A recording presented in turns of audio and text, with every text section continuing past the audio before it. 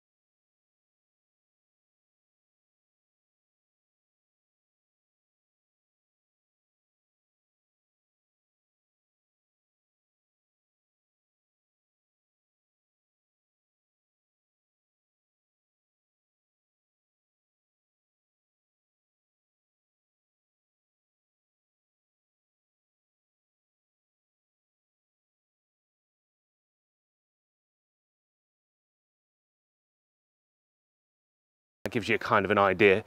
Throughout this video, I've been putting the map up just to show where I'm at, and that kind of gives you an idea of how big this place is. It's not the biggest Center Parcs there